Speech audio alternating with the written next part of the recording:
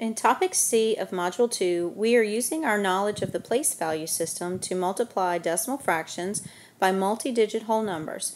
We're also going to be reasoning about the placement of the decimal point in our products.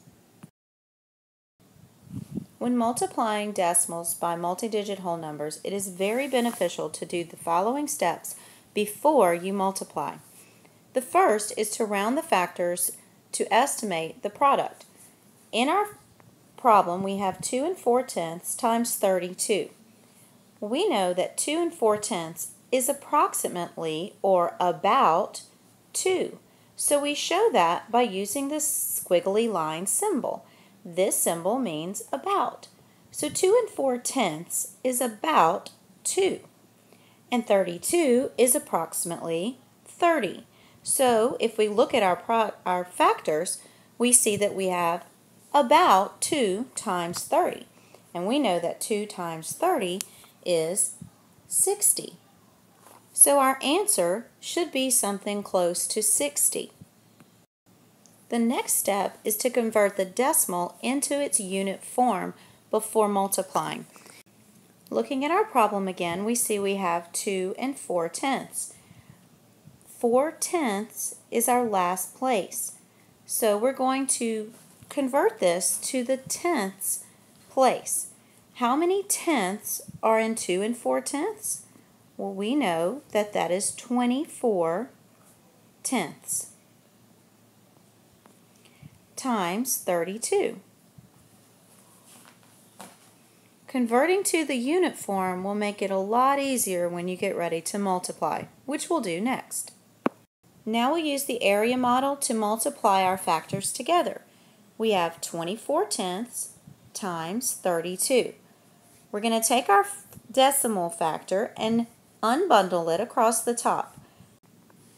We have 20 tenths plus 4 tenths. And our whole number we're going to unbundle on the side. We have 30 plus 2. Now we simply multiply each section. We have 2 times 20, which is 40, and 2 times 4, which is 8. We have 30 times 20, that is 600. And we have 30 times 4, which is 120. Now we simply add our rows to get our partial products. 40 plus 8 is 48. 600 plus 120 is 720. Now we add our partial products. We get 8 six, seven. But we must remember that this is not 768 wholes, it's 768 tenths. So now we need to convert this back to tenths. We know that 768 tenths is actually 76 and 8 tenths. Now let's think back to our original estimate, where we said that 2 and 4 tenths times 32 was approximately 2 times 30, which is 60. So our estimate was approximately 60. Now, if we look at these two answers, 768 and 76 and 8 tenths, we can see that 76 and 8 tenths is a much more reasonable answer than 768. So that is one reason to estimate before you multiply. Now we're going to use what we've learned to complete a real-world application problem. Pat rides his bike a total of 6 and 83 hundredths miles to and from school every day. How many miles does he ride in 25 days? First, we have to find our numbers and pull those out. Pat rides 6 and 83 hundredths miles in 25 days. So we have 6 and 83 hundredths times 25. The first thing we're going to do is our estimation. 6 and 83 hundredths is approximately 7, and 25 is almost 30. So we have 7 times 30, which is 210. One very important thing to remember when you're estimating is that if you round both of your numbers up, like 6 and 83 hundredths, we rounded up to 7, and 25, we rounded up to 30, that makes our approximate product a high product, which means it's going to be more than our actual product. So we need to keep that in mind when we actually multiply. The next step is to convert the decimal to, the, to its unit fraction. Since the last digit in this number is in the hundredths place, we're going to convert it to the hundredths. So 6 and 83 hundredths is equal to 683 hundredths. We're going to rewrite our problem in unit form. So we have 683 hundredths times 25. When we used the area model, it was easy to see the place value of each of our digits. But when we're using the standard algorithm, you really have to think about the place value. Remember that this is 5 times 3, 5 times 80, and 5 times 600. Then we will do 20 times 3, 20 times 80, and 20 times 600.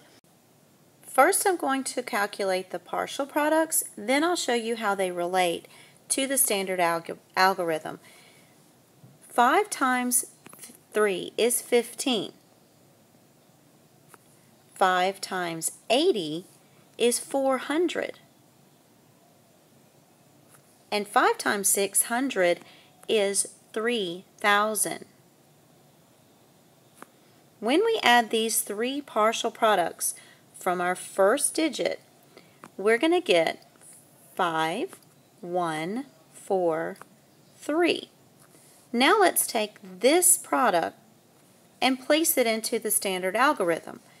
What we're going to see is it comes out a little bit, it's the same answer, it's just written a little bit differently. 5 times 3 is 15. 5 times 80 is 400.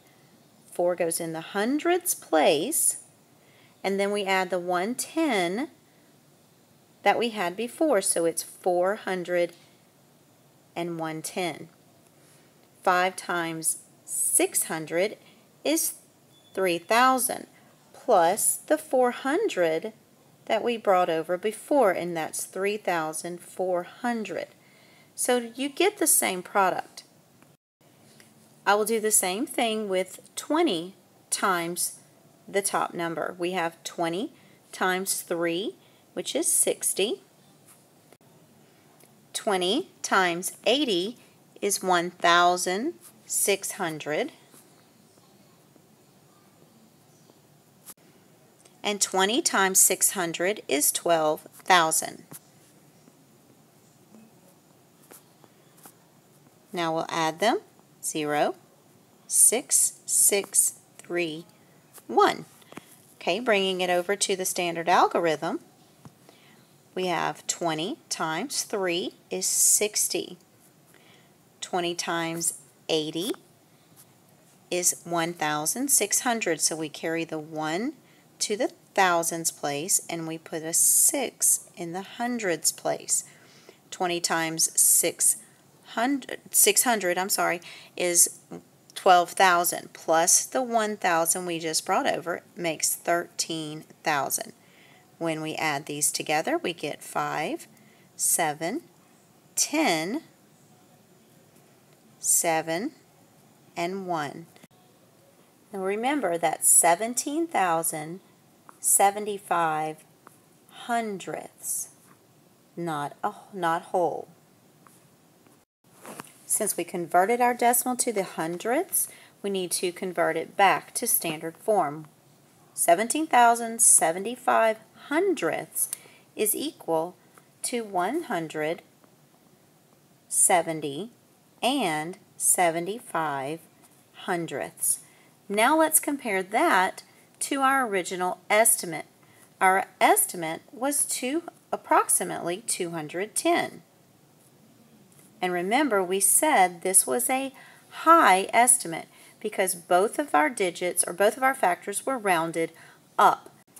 Therefore, 170 and 75 hundredths is a very reasonable answer for our problem.